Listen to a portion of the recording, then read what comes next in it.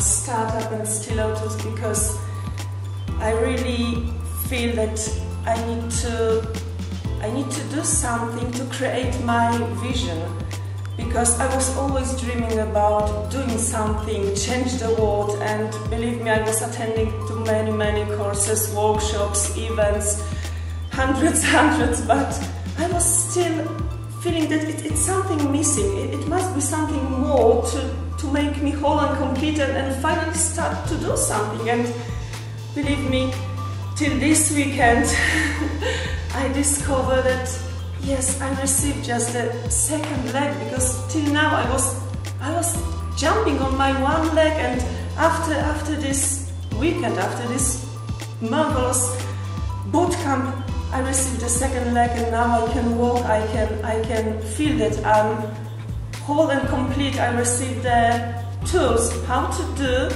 what I was always dreaming about. So thank you so much.